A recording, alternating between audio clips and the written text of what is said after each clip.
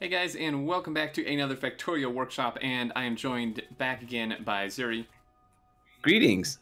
So uh, you're feeling a lot better now, which is great. And uh, Yep.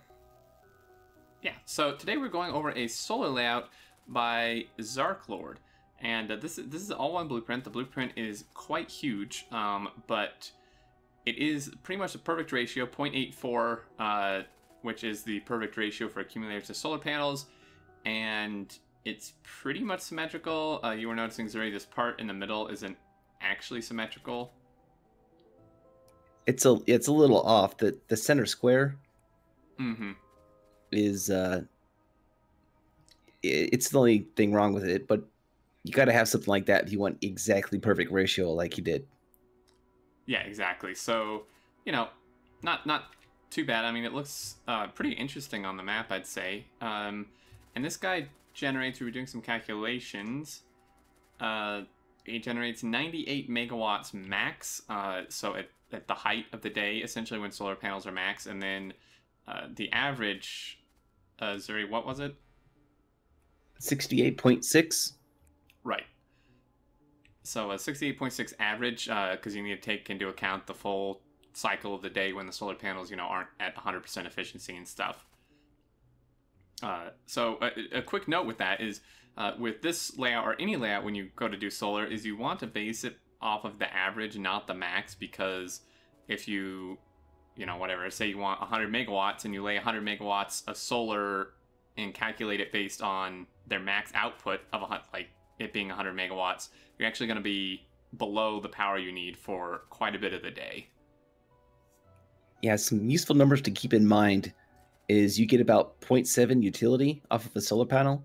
So it says 60 kilowatts each, but that's effectively 42 kilowatts. Yeah. And you want about 0.84 uh, accumulators per solar panel. Yeah, exactly. So that's where that 0.84 comes from.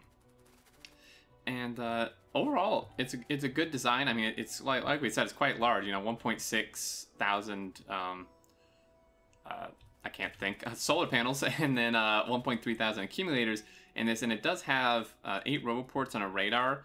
I feel like you could maybe get away with less radars if they were rearranged differently, but of course that would require like rebuilding the whole thing to keep the ratio. So not that big of a deal. Uh, you mean roboports, right? Robo- Roboports, yes. I, I cannot talk today. Roboports. Um, and the radar uh, is quite nicer. You were noticing that you can actually the the radar does cover the entire blueprint. Um, but then even if you don't want to use the map view with that, uh, you notice that you could actually just place it just straight up by like standing next to it. yeah, it's barely, I'm going to say small enough that if you zoom out all the way without using commands, you can place it and watch the overlap eight panels. Just what I'm sure this is for. Yeah, so these ones on the side, uh, a quick glance, it may think it's a mistake, but it's not. So you can overlap, um, overlap them like that, and it's on all sides as well. So this is symmetric. I mean, this is placeable on all sides equally, which is quite nice. And uh, I believe that pretty much does it. Overall, I'd say really good design. You know, the the good ratio is important. The fact that it is stampable and tileable is obviously extremely important. Uh, and really just a large design. I mean, on a on a medium-sized base, you'd probably only need a couple of these, several of these to uh, power your entire base. So And very large bases, you can just keep stepping these from the map and let your bots take care of everything. yeah, which is really nice uh, since the radar does cover the entire layout. You can't you could just stamp like all four sides and then just do other stuff while your bots take care of it, and then do it again, and uh, you'd be good. So I believe that does it. Do you have anything else to add for this one, Zuri? No, other than it's 100% space efficient, which is good job. Yeah, that's a really good point. Uh, a lot of these designs uh, are not 100% space efficient.